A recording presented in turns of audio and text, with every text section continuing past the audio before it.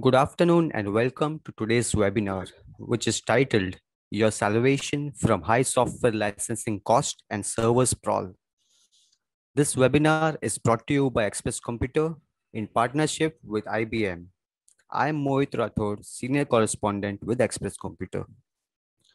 Businesses have braced themselves through the disruption and they are now looking at IT to help thrive in the new normal. IT projects are in the top priority list, and rightly so. The CIO today has to adopt modern digital practices that integrate seamlessly in the current IT setup. He also has to ensure performance, availability, security, scale, and cost. Sharing with you more about this in this discussion today, we have our speakers for the day. Ravi Jain, the director at IBM Server Solution Sales, India and South Asia. Ravi is responsible for IBM Z Systems and LinuxONE and IBM Cognitive Systems. In his role, he drives the IT infrastructure solutions that are driving digital transformation. He has kickstarted it, he has kickstarted the pivot to industry standard Linux and open source platforms. He holds a BTech in mechanical engineering from IIT Delhi and a postgraduate diploma in business management from IIM Bangalore. And we also have with us uh, Jaypal Antony, who is the executive IT economics practitioner, IBM IT economics team, IBM competitive project office.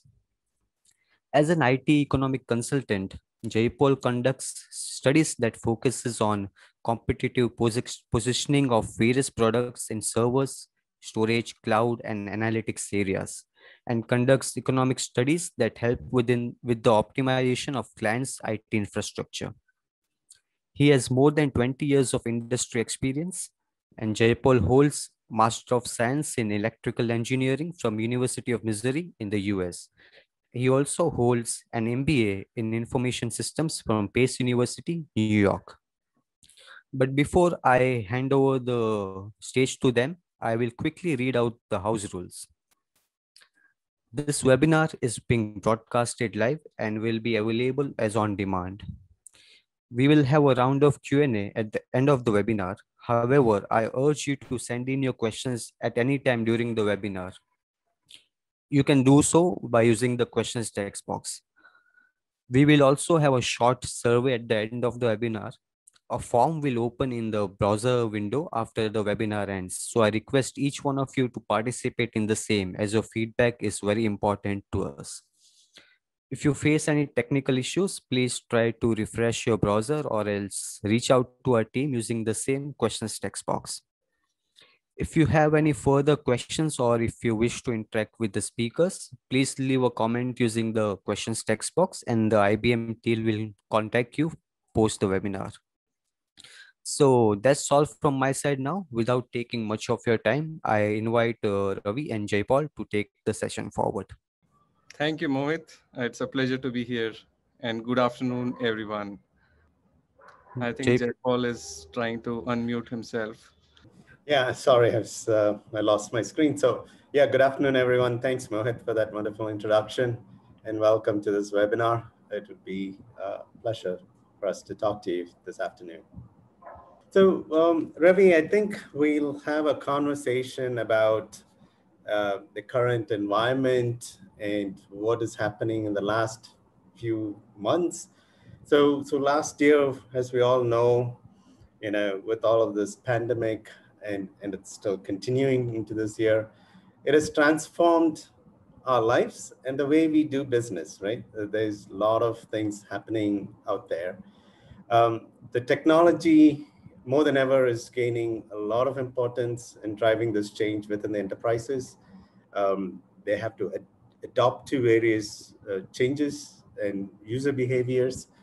Um, so, having been in this industry and having seen what's going on what is your take on the changes that you're seeing and where do you see the future of IT infrastructure, you know, mainly from the perspective of servers and storage, right? Given these changes and, and the so-called new normal that we are in. Can you give us your perspective on those, uh, Ravi? Uh, absolutely, Jaypal. And uh, I think uh, for the last eight to 10 months, uh, there have been several discussions around uh, what's going to be the impact on IT, what is going to be the role of IT. And, uh, you know, this dialogue in the last eight to 10 months also has undergone a lot of changes. and the reason being the whole time was so dynamic. In fact, you know, for the first three months, it was actually a period of uh, uncertainty on every aspect, right? I mean, uh, it was not just about the uh, work side, but you know, more, more importantly, people were really uh, worried about how how the life will be for everyone. Yeah. Uh, one thing that uh, came out very clearly in the last eight to twelve months is the focus on keeping the business applications available. Uh, it is about uh, uh, people would say working from home. people would call it 24 by 7 access. Uh, uh, uh, access to the business applications. But one thing was very clear that I will not have the luxury to do minute by minute or hour by hour management, right? So in that sense, how am I keeping the digital resiliency or the data resiliency or the resili resiliency of the enterprise applications in order. Uh, that was uh, clearly in the spotlight and it remained so for the first, uh, you know, uh, uh, it was the only spotlight for the five to six months uh, at the start of the pandemic. And as we, you know, went through the year, obviously the focus came back on the digital transformation projects which people were embarking upon. So pre-pandemic, the whole idea was how are we transforming our businesses with the help of IT? What is the digital transformation all about?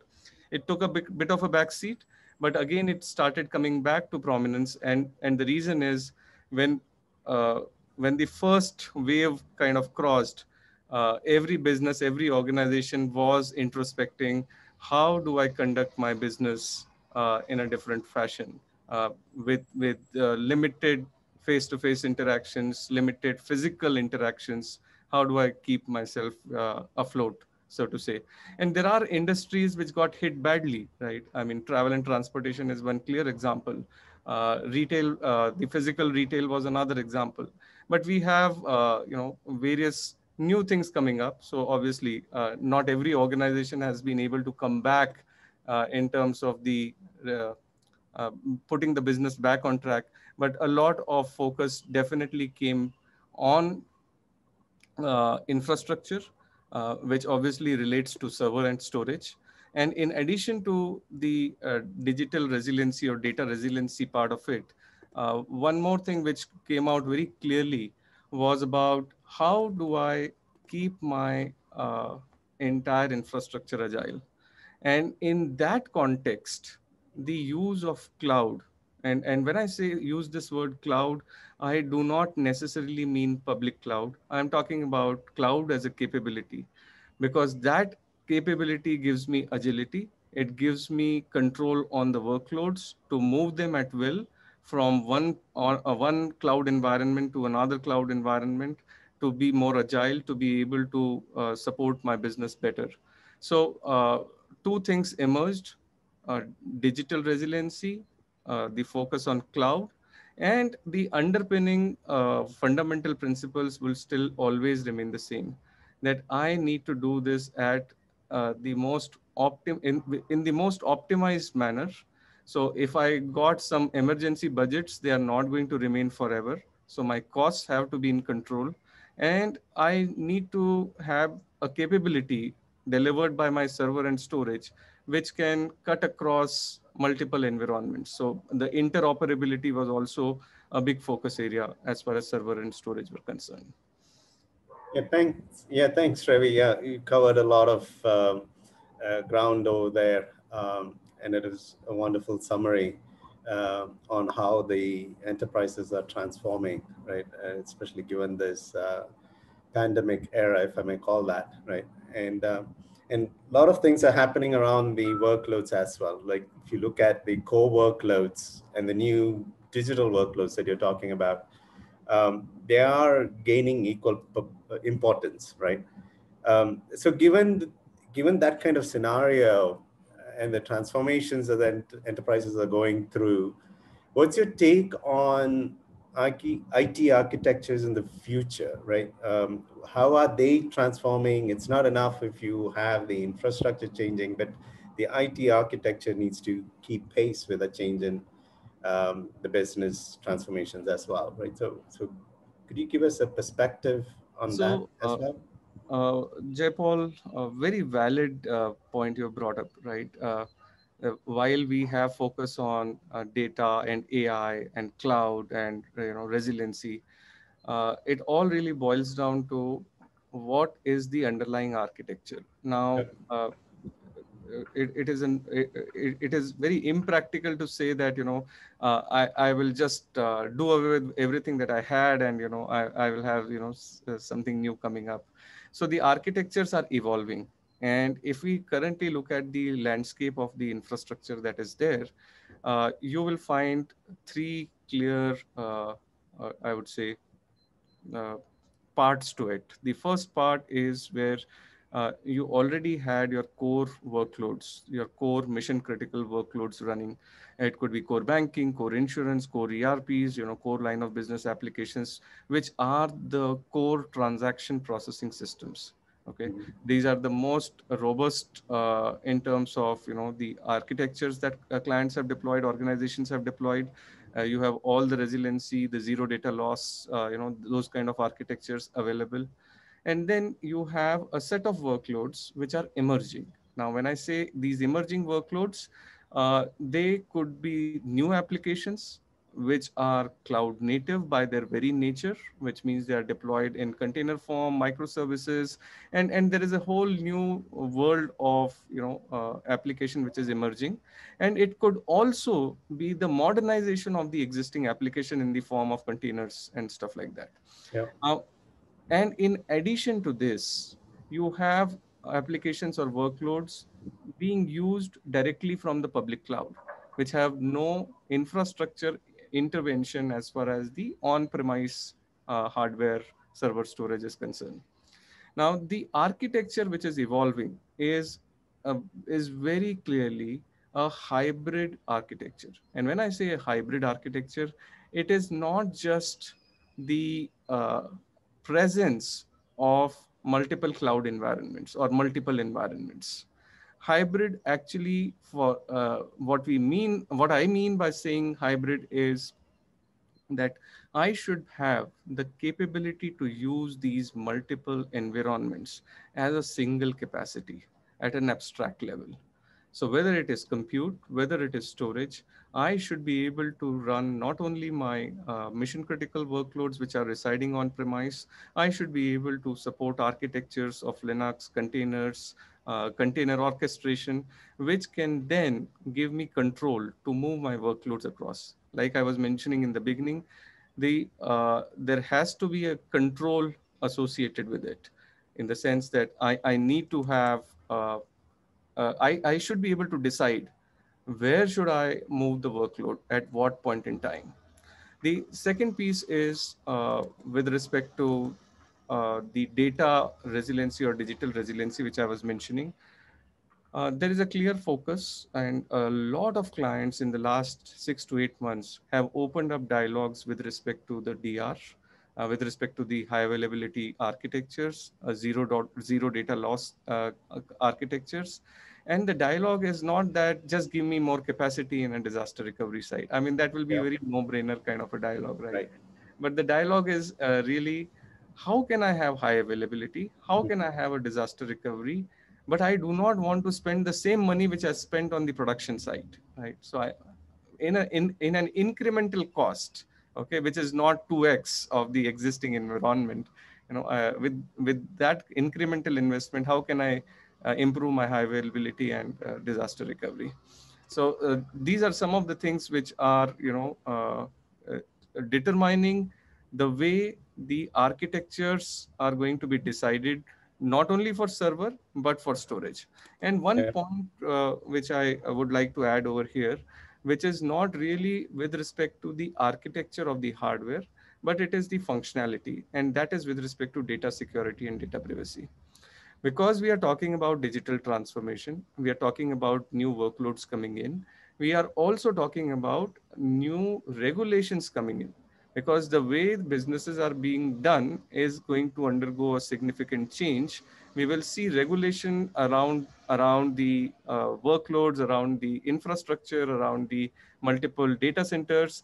You know uh, that is ever evolving and those regulations are going to you know be always uh, they will bring uh, changes with the uh, with the objective of keeping the data secure and the privacy also maintained for the users. Now what what does that mean? That means that there will always be a moving goalpost with respect to the data security and privacy norms. And that will also be an essential part of the overall server and storage architecture. As to if I'm using a particular server or a storage, how am I ensuring that my uh, regulation uh, regulatory norms are kind of covered and I don't have to really reinvent my application or recode my application uh, when I have to go through certain changes. So uh, these are some of the things that uh, are going to decide the new architectures, uh, Paul. Okay. Now, uh, uh, while I talked about all this, Jaipal, uh, you are coming from the IT economics and research team, and I know for a fact that you have worked with various clients uh, not just in India but across the globe, uh, where you have been, you know, talking about the uh, uh, best fit architectures, not just from a uh, technology standpoint, but also from the standpoint of, you know, what is the total cost of ownership, right? Uh, yep. so, what are your findings, or what are your experiences of the last few quarters, or eight to nine months? Right. Yeah. Thanks, Ravi. I mean, a great question, of course, right? It's, you know, businesses are transforming. They want new technology to meet all of those new demands, new workloads, new regulations, as you talked about, right? But they all come at a cost, right? And they all have options to deploy these things on different platforms, different um, you know, clouds, whether it's private or public or, you know, even hybrid kind of deployments. But how do you determine the best fit, like you say, right? Best fit for that particular application, for that particular solution. Where do they put it? And how do they determine, you know, not only from a technology perspective, you know, from a cost perspective, whether it is economically viable or is it economically the best solution to, you know, go to onto which platform to go to, right? It's a very hard questions that businesses have in front of them. And one of the things that we do is look at TCO, right? The total cost of ownership of a solution on a particular platform or a particular choice of uh, platform to, to deploy this on, right? And as as you know, in TCO, when you talk about TCO, um, there are lots of things about it, right? So first thing is, what is the solution under consideration? Where are they deploying? You have hyper-convergent infrastructure, like I said, the, the public cloud deployment, hybrid cloud, many options, right? And and they have to narrow this down very quickly and they don't have a lot of time to also decide right? They have to narrow this down very quickly. Once they determine the architecture that they have decided they have to determine where to deploy it how to deploy it and then finally determine what is it going to cost them and which option is the best option to um, you know go with based on all of those factors including the economics right? So when i talk about tco you know a lot of people think about tco as just hardware um, you know how much is a cloud going to cost how much is this hardware going to cost me uh, to put that in the infrastructure in, in the in the data center and then they calculate the cost of hardware, right? But there's more to uh, more than that, right? More than just the hardware. Some some businesses would go ahead and say, okay, is it what about the software cost, right? Um, but but I think of it as these four dimensions of TCO, right? Let me let me elaborate on those. One is, of course, the cost of components. I mean, you have hardware and software, that is a no-brainer, right? But then there is there are other things in that line item, right, in that dimension. Cost of facilities, energy and space. How much power are you spending? How much space does your infrastructure uh, take up, right? Uh, okay, cost of people to manage that infrastructure. All of those add up into that dimension of cost, right? Then, you know, when when again businesses, when when I talk to you know some of the executives, uh, one of the things that I then elaborate on is the number of environments that they have to deploy this on, right? There's of course the production at the data center, the primary data center, but what about your DR strategy? And do you have non-production environments for your UAT, SIT, staging, etc.? And and they just multiply very quickly, right? And that's something that a lot of people don't uh, don't think about or you know pay a lot of attention to. They they they look at the architecture, they look at where it's going to deploy, and then they uh, determine what what what is needed without you know giving a lot of thought about uh, you know the other environments that they have to deploy this on that they need to have for a, for the businesses to be successful right the third sort of dimension that i want to talk about is the time dimension of tco right again a, a dimension that not many businesses or many people take into consideration right this is cost of migration or time to market even, right? How fast can you deploy that application and monetize that application or get your business out there, right? Um, uh, and be the first mover, right? So there is there is that aspect. Uh, the time value of money, right? Not businesses do have to borrow money, or businesses need that money to spend elsewhere. They have many investment choices, right? to make and is this the right investment choice um, to make they have to calculate the internal rate of return the roi etc etc so the time value of money becomes a big factor right and then finally uh, the fourth dimension of TCO is the business value right uh, reliability the cost of downtime right uh, what what if your application is down for a number of hours right uh, how does it impact your revenue, right? Um, what does, uh, you know, how much loss is the business going to make?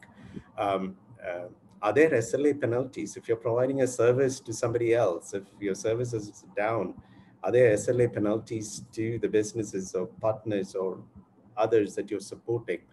Um, and of course, no one wants to think about this. It's a scary subject and a big topic is the cost of security, security breaches um, we see it every day, right? Uh, every few days, you see in your newspapers, there's been security breaches. People have stolen data, um, attacked the, you know, cost defacement of websites. Um, things like that happen all the time, right? So, what is the cost of security or securing this infrastructure? And and security breaches are real, right? And and it's very expensive. Um, in in many ways, right? Um, reputational loss being one of the biggest um, that you can think of, right? So those are um, some of the aspects of TCO, right, that we want people to think about um, uh, and put that into perspective. But most of the time, right, and, and I'll, I'll, I'll try to summarize all of that and get to and distill this message completely, right? Um, if you take out the business value benefits and say, okay, that is separate from all other kind of costs that you get touch and feel, um, you know, most of the time, the hardware and software costs make up about 70 to 80% of all of this, right? So, so we can narrow down on that, right? And Ravi, you you may have seen this also, right? I mean, you know, with all of the clients that you talk to, um, many times the hardware and software budgets belongs to different departments, different organizations, and have completely separate budgets. They they go in different silos. They don't talk to each other. They don't know how much they're spending in hardware, or the, the department that's procuring software or the applications don't know how much uh, they're spending on hardware and vice versa, right? And that's common across many of the businesses, um, and I'm sure you are aware of it, right? Um, but when you look at the TCO, these teams have to come together and and try to optimize the cost for the overall solution, right? Not just hardware, but put software on it and see whether there's, you know, they can work together and optimize the overall cost of ownership for, for the business, right? For that particular solution, right? So typically in an x86 environment, right? I just, uh, you know, finish off with this one example, right? Um, about 10% of the cost is for hardware. The remaining 80% is for hardware. And then you can say 10 to 15% on other dimensions of TCO that I talked about, right? Um, so, so one of the things that you can do is, you know, since software makes up 80, 90% of your overall TCO, go look at that big chunk and see how you can reduce the cost of that chunk, right? If you can lower that overall cost of software, then you can uh, reduce the overall TCO, right? That's the biggest chunk you want to focus on and reduce uh, reduce that cost, right? So I know I did a big explanation of the TCO and all of that, but it comes down to this, right? Minimize your software costs, and that's the you know simple message, right? Minimize your software costs, and that would get to you to optimize your TCO as well. So uh, long explanation, but that's the simple message at the end. No, no, Jaipal. I think it, yeah, it absolutely uh, is. Uh, you know, uh, is what we have also seen because yeah. the moment you talk about uh, manpower reduction or the efforts reduction uh, in the TCO studies, right? Uh, I have seen and it, I personally experienced that it gets shot down, right? And yep. what That's it really boils down to is hardware, software, and to a certain extent, the data center costs. These are the three key dimensions and it was an eye opener uh, to you know uh, hear from you that uh, I mean an x86 environment the cost of hardware is negligible but you have a significant high software cost and and uh, we know that you know if you have to maintain it over a period of 5 years or 10 years right obviously the software maintenance are much higher as compared to hardware maintenance. So that also adds up to it the Absolutely. moment you put the time horizon on it uh, given these circumstances and uh, these observations, Jaipal, uh, the infrastructure we choose today has to be really flexible uh, to the changing business needs and to the TCO benefits uh, in the long term. Yeah. So, uh, Jaipal, can you please share more on how IBM LinuxONE platform is the choice for mission critical workloads and how does it provide flexibility and the consolidation benefits? Yeah, so uh, yeah, sure, Ravi. So, so before I talk about LinuxONE and explain what LinuxONE is, right? You know, let's talk about what the different kinds of workloads are, right? Let's start there first, right? So there is, you know, there are things, uh, workloads or components that requires sort of scale up, right? These are things like um, you know your databases, your batch workloads, your big enterprise systems, uh, ERP systems with with lot with, which requires lots of core and memory and all of that. These are these large systems that you know you could add capacity to the existing server and the performance goes up. So as as your workload grows, right, as your capacity, as as your business grows, your workload grows and, and you want to quickly uh, augment the capacity, you can add more um, uh, capacity to it, you know, to the same workload, to the same VM, same server, and, and you immediately grow without any interruption in the business, right? So those are your scale up sort of workloads. Then there are these other workloads, right? Basically, a lot of your front-ending workloads. It could be your web servers, your app servers, etc that you know if if the demand grows you know temporarily or permanently you want to spawn off new instances of that workload and you know uh, and manage manage the demands that way right? So you're scaling out you're just creating more and more instances of it across your server infrastructure and um, you know you can you can meet your businesses growing demands, right? So there, there are these kind of workloads. Of course, there are these modern container workloads with microservices architecture and all of that, where you know it automatically spawns new uh, instances um, you know, as and when the demand grows, right? You can set targets on it, and if, if certain targets are hit, new instances are spawned automatically, right? So that's that's a more newer sort of architecture and technologies that are out there, right? So containers are gaining a lot of traction. We're seeing a lot of microservices architecture and solutions, which implies that you need these scale out. But traditional workloads are mainly scale outs, right? Um, uh, scale ups. Uh, your databases, that's not going to change. You're not going to spawn new database instances. You're basically making sure that your databases can handle all of the workloads thrown at it, a lot of all of the queries thrown at it, right? So this is where LinuxONE comes in, right? These, it can address, it's a server from IBM built on a lot of the technologies borrowed from our mainframe class of servers, right? IBM Z. So we borrowed a lot of those technologies. So massive scales are possible, um, uh, you know, with very high reliability and all of that.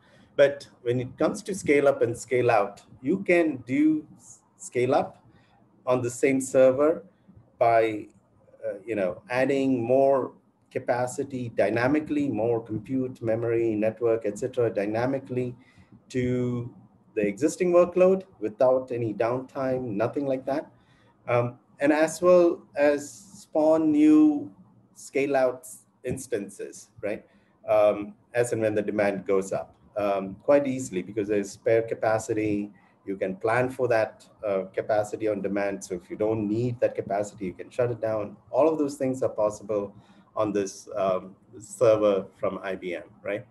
Uh, and it's it's possible because it provides a very unique architecture that is different from your typical x86 servers or other HCI kind of technologies that are out there, um, and and amazing virtualization technologies, right? Um, uh, IBM, by the way, invented virtualization, you know, 40 years ago on on the on this platform, right? So, so highly mature virtualization technology on the server that allows for the scale up, scale out uh, capabilities on the same server. Okay, so so if you want to know the scale of this thing, you know, you can run tens of thousands of VMs on a single server instance, right? Unheard of, right? That's the scale that we are talking about. You can run, you know, hundreds of thousands of container instances um, you know, in, uh, on this single server instance, right? Hundreds of thousands of container server instances, or maybe more, right? So that's the scale we are talking about on this platform.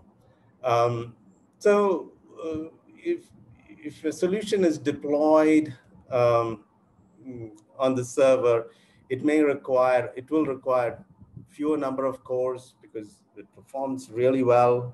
So so one of the things that we look at is how many cores of x86 or, or LinuxONE is required to run, um, you know, certain number of uh, the same same workload on x86, right? So what we have seen in the field and the many studies that uh, me and and the team has done, right, um, is that uh, you know about 10 to 15 x86 cores is equivalent to one core on LinuxONE. So massive consolidation. And since most of the um, software is licensed based on the compute capacity or the course, um, you know, it significantly reduces the um, software licensing costs, the software procurement costs, and the software subscription costs, right? So, so this platform with all of those capabilities uh, you know, scale up, scale out, and all of that would also help you reduce your overall TCO, right? So, so that's sort of in a nutshell what this platform can do and is capable of, and and provide this agile uh, thing, right? So, so I talked about a lot of this in a very technology, uh, you know, basis, technology perspective but on your based on your experience, uh, Ravi, um, what are the key result areas or KPIs uh, for a CEO, especially in the current business environment? Um, uh, can you can you put that in perspective a little bit? Yeah, uh, I, I I would say, uh, Paul, uh, at, at the CXO level, uh, whether it is the CEOs or even the CIOs or for organizations, uh, there is a big uh, business responsibility uh, attached, and, and, especially when I talk about CIOs. I mean, uh, you know, yeah. Uh, it is not just about IT responsibility, because gone are the days when IT was just a processing unit, right? It is yeah. it is the offering itself now.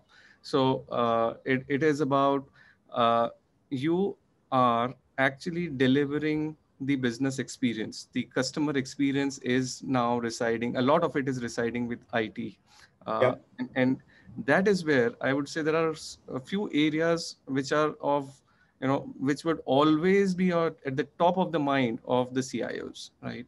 The first one definitely is availability availability of the business availability of the uh, i mean the applications uh, resiliency because the moment your service is unavailable right? Uh, the next very next minute you are going to see tweets you are going to see whatsapp forwards you know and and the works right? And, and the more uh, retail oriented the business is the uh, more is the need for having the you know high availability at the right layers of the infrastructure and the application. Because uh, it is not just about the social media impact all you know it is also about the regulatory impact right?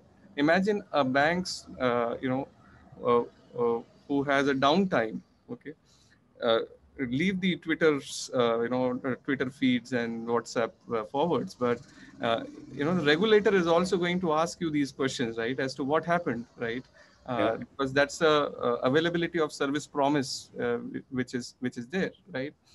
Uh, the second is uh, about innovation right? And when i say innovation it is linked to the speed to market. In the the moment we are talking about it or technology becoming the offering itself which means that the anything that you bring in bring to the market it will be copied very easily.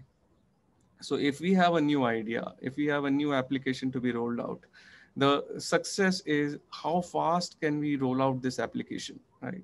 How fast can it be uh, can it give us profits right? You know uh, it, it is as simple as that. So time to market uh, in in such scenarios is, is extremely essential. And that is where uh, the thing is do i is my infrastructure ready? Is my uh, platform ready to do this because not every time I can go to a public cloud and just draw, uh, you know, power there, right? In the sense that uh, uh, there are cost considerations to it, there are boundaries, there are security considerations to it. So, you know, uh, at at a uh, as an organization, what is my uh, level of agility? and it, is a classic. If I have to talk in the manufacturing terms, it is classic make versus buy kind of a decision. Yep and that that was uh, that is what uh, really plays uh, on the minds. Last but not the least i mean there will be many things but you know the third biggest important uh, big uh, i mean most important uh, thing is about data security and privacy. Every dialogue that you have today okay is focusing around how do i make sure that data is available i mean data is secure and i'm not violating any of the privacy norms okay. Uh, i have to do it within my uh, available budgets. So that piece is always there. It's not that i i will give some additional money because i have to do the same processing and i still have to you know still keep the data secure. So these are the you know top three things that come to my mind Jaipal. so yeah yeah well, well, well put. Yeah those those are definitely the top things that um, keeps the CIOs, CXOs awake at night, right? Uh, thinking about all of those things. But um, just just to put it one level lower, right? Uh, what are what's the popular middleware and technologies that you see that are being used in enterprises across India? I mean, specifically in this geography, right? Uh, what do what do you see the clients mostly relying on?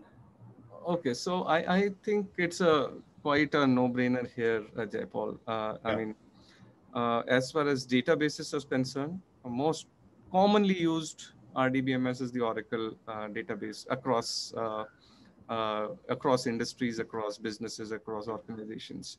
Absolutely, and, and yeah. Uh, yeah, and and uh, you you we do see a lot of other databases also coming up, but by far Oracle has been, uh, you know, the biggest, uh, I would say, landscape available.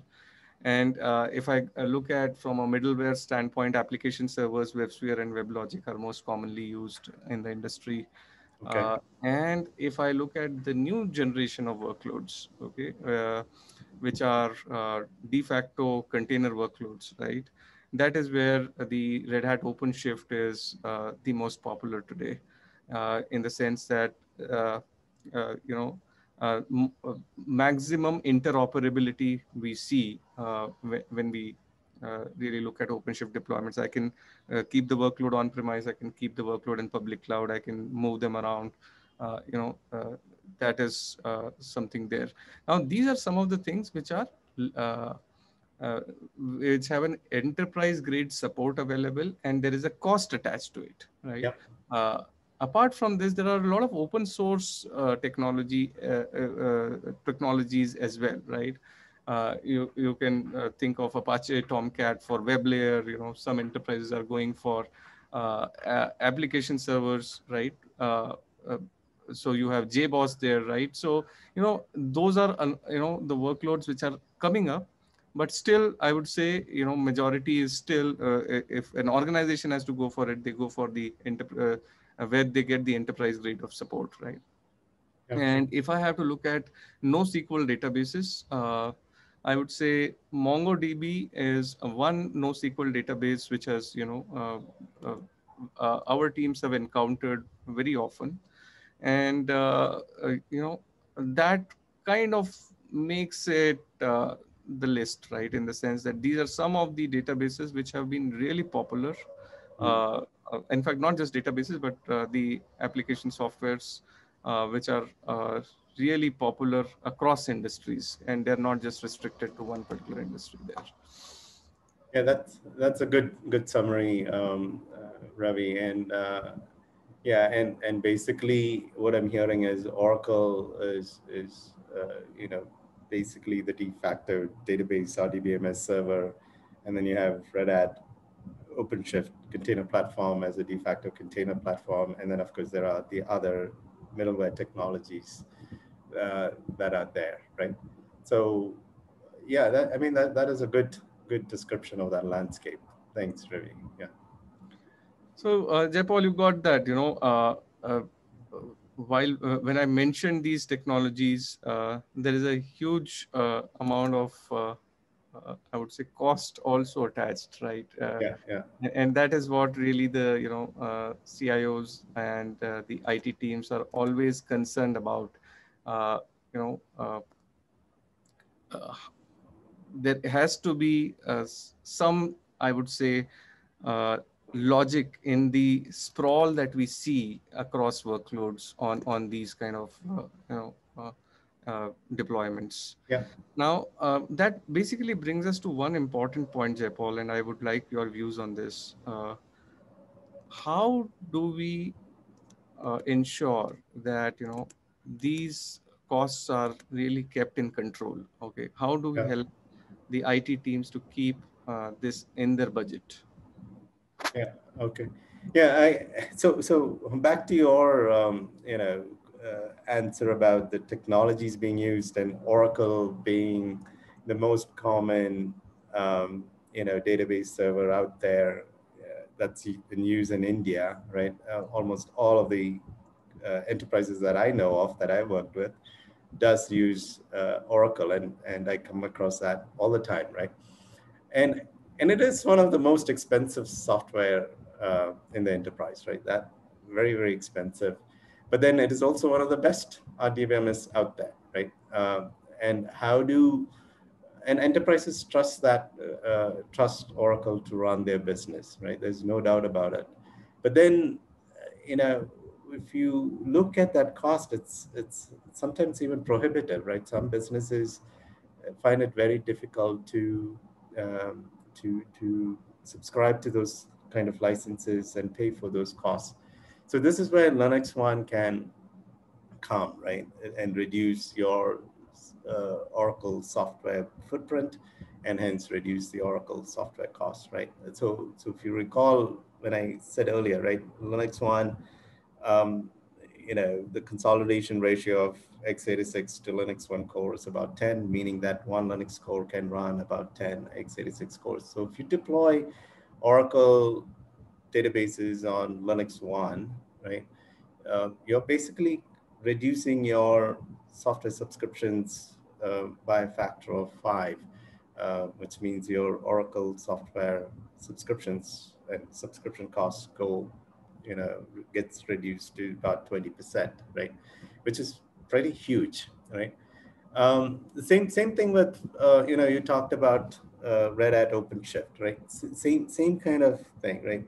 You can reduce your Red Hat OpenShift um, software subscription costs by uh, you know by eighth or tenth, right? Even, right? So so by by deploying these workloads, these software on LinuxONE as opposed to x86, whether it's on-prem or on the cloud, you can reduce your software costs quite a bit and hence reduce um, uh, your overall TCO and be within the budget um, planned by the CIO, CFO, etc. Right, and and uh, you know uh, reduce all of those costs for the businesses that you're in charge of. Yeah. So uh, great point there, uh, Jaypal. Uh, 5x to 10x kind of reductions are significant. Uh, yeah. They can fund many things uh, within the IT budget. Now, in addition to the TCO, what benefits uh, would a LinuxONE user stand to gain? Yeah, right. So, so just don't look at TCO alone. Yeah, I always tell my clients that. Um, apart from the reduction in TCO, you get lots of other benefits, right? And I, I think I touched upon some of these things. A massive scale, right? Um, a single LinuxONE server is equivalent to about 2,000 x86 cores, right? Massive, right? And and so so you can consolidate lots of workloads on this single server, right? So you can and you don't have to buy all of that capacity at once. You can buy uh, you know, even a single core of LinuxONE on day one, and then as your business grow or as your capacity needs grow, you can start buying or activating cores of that machine as and when required, right? So, so that's another key concept of LinuxONE, right? Don't buy everything that you need for the next five years today, but grow as your businesses grow, right? Um, really high performance, which leads to uh, this massive, uh, you know, reduction in software costs, so reduction in number of cores, right? Um, high perform, I mean, and high reliability. I mean, you can achieve, uh, you know, six nine availability, right, on the server. It's, it's so highly reliable um, that it never fails. There's, you know, zero downtime, zero planned downtime, etc., unplanned downtime, etc. Right, and then of course, uh, you know, Ravi was talking about security and all of that. Um, it is one key thing that um, you know is definitely keeping all of the CISOs and CIOs and CEOs, etc., uh, up at night. Um, you know, LinuxONE, you can encrypt everything, right? There's a tremendous amount of encryption capability on the server. Um, um, each core comes with its own um, crypto accelerators for encrypting. It's got compression and hardware. It's got an HSM that's the highest, that provides the highest level of uh, um, uh, uh, level of uh, security, right? It's uh, 140 uh, level four level of kind of security. Um, and you can encrypt everything, right? encrypt data at rest, data in flight, data in use, which is not possible on other commodity hardware, um, you know, that, that, that you see, uh, you know, where, where these solutions are deployed, right? So all of these are, um, uh, you know, additional benefits of LinuxONE, and it's just not the TCO, right? I, I, hope I answered your question. Great there, points, uh, Jaypal. Uh, uh, you know, you brought about a lot of things, and uh, I, yep. before we conclude, let me just summarize a few things uh, for the audience.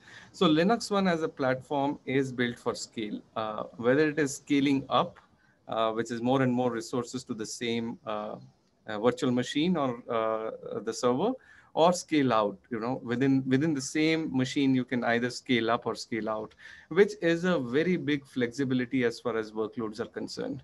Uh, needless to say we talked about lowering the total cost of ownership by reducing the licensing costs significantly.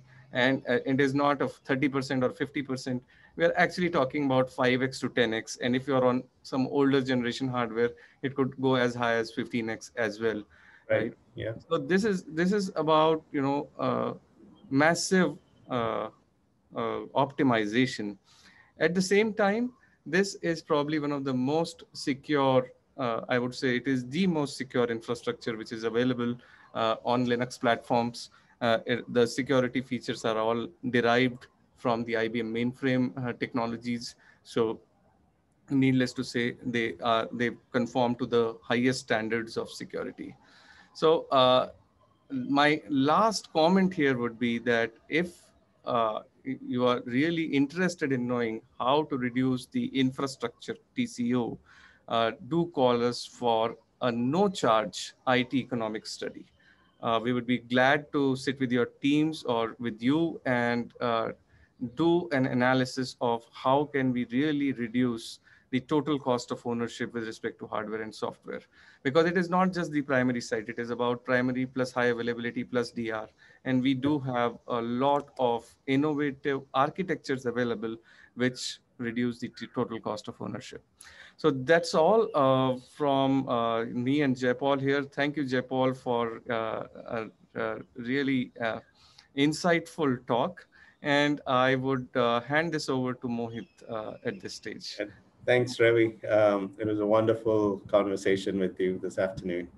Yeah. Thank you, Jaypal. All right. Over to you. So that was indeed an insightful discussion. So now we can actually take some of the questions from the audience. But before we start taking the audience questions, just a quick reminder and, and request.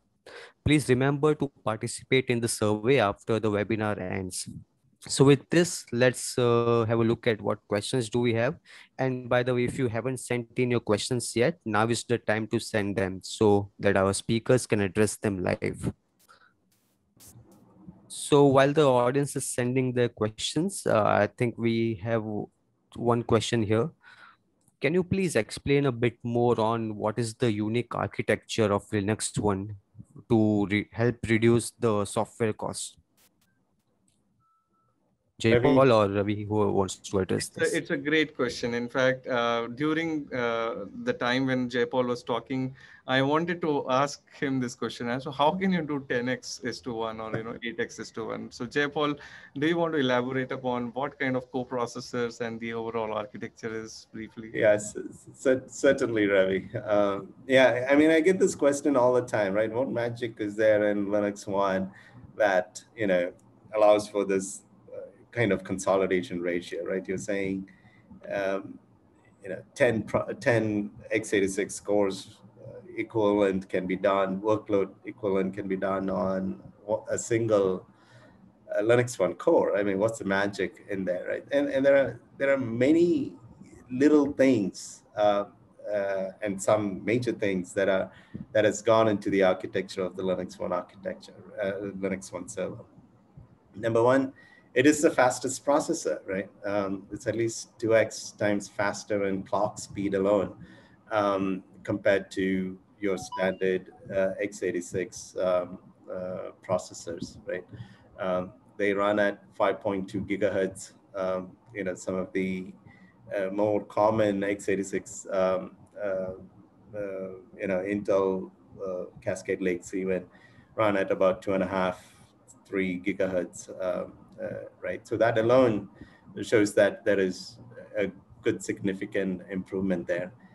Um, there's also, you know, it's not just the cores that you see, that the application see that are in the machine, right? There are um, cores that offload IO, right? So all of the IO um, to access your memory, to access your peripheral devices, all of that is um, uh, handed off, offloaded off to um, you know system as processors um, that does all of that IO processing, right? So it frees up your main processors just to do the real work, right? It's not waiting on IO. It's not waiting on retrieving, um, you know, data from memory or, you know, talking to your network devices, et cetera, et cetera, right? So, so that's another factor. There is internal networking, right? You're consolidating all of these networks and there is there is networking inside, um, you know, you can either call it HiperSockets or SMC, which network at the speed of memory, right? So again, uh, you know, reducing your network latencies and your transaction times and things like that, right? So, so there is lots of internal networking that happens at memory speeds that doesn't have to go to your external interface cards or routers and switches and comes back, right?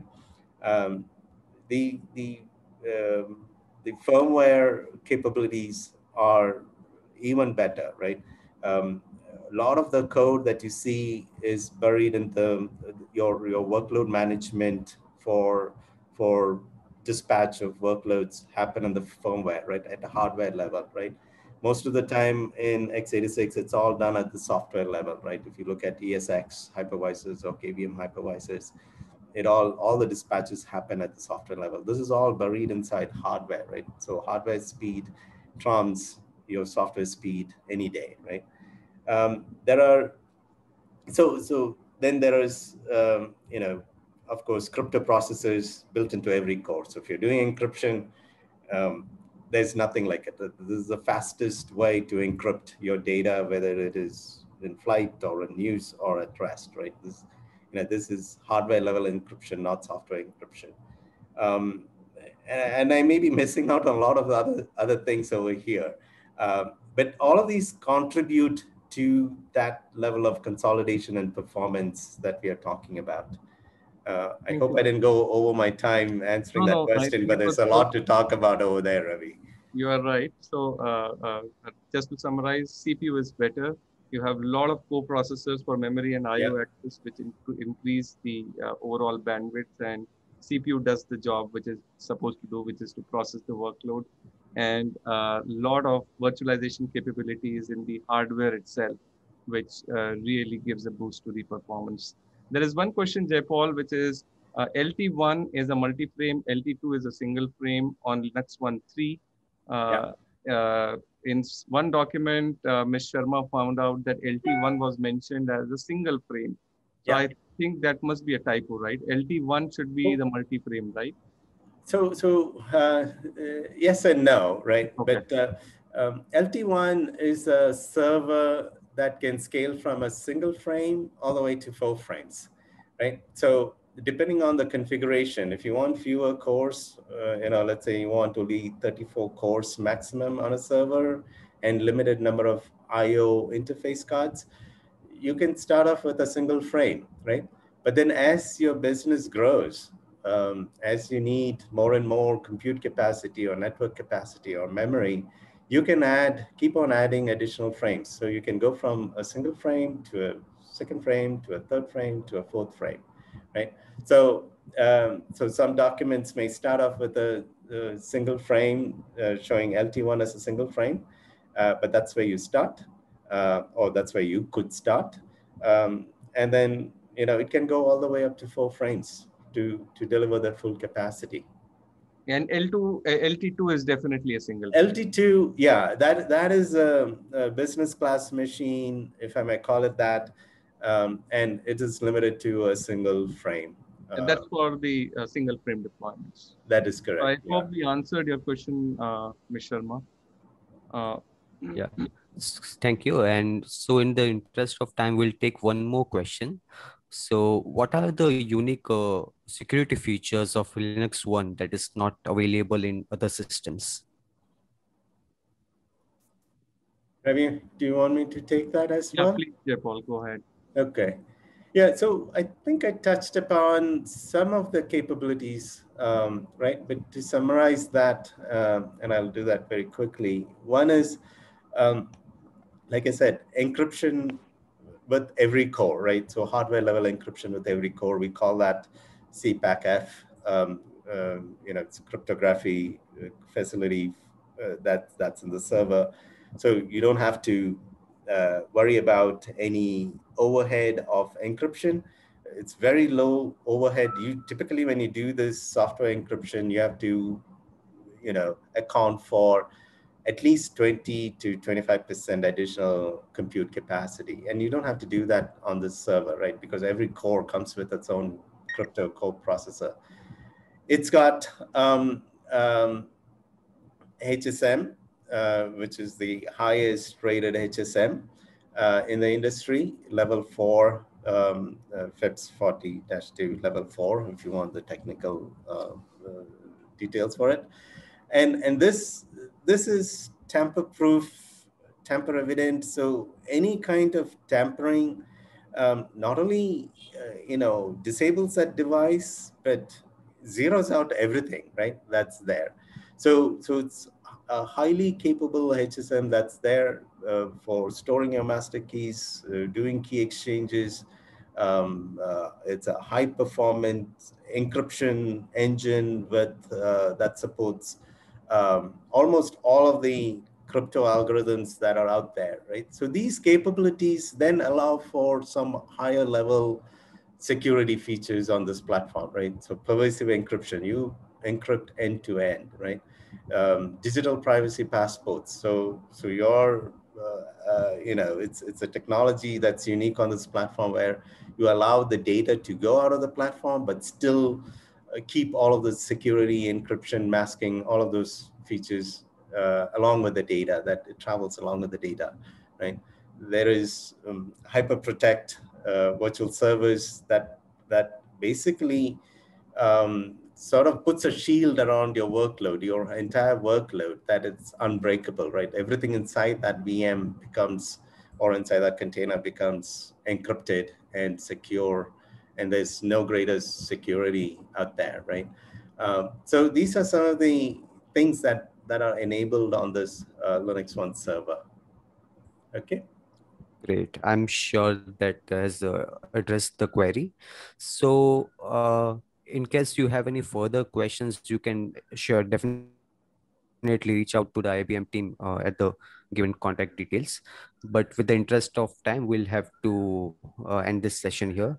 So that's all we have for today. I thank uh, Ravi and Jay Paul for sharing their insights. I'm sure there have been many takeaways for the audience. And I also thank the audience for their interest, time, and participating in this webinar. Just one thing, please remember to send your responses in the survey, which will open in the browser uh, after the webinar ends. Thank you uh, once again, Jay Paul and Ravi. And thank you, audience. Have a great day. Thank you so much. And please uh, feel free to reach out to us if there are any questions, clarifications. We'll be really glad to get in touch with you and take the dialogue forward. Thanks, everyone. Thank you. Thank you so much.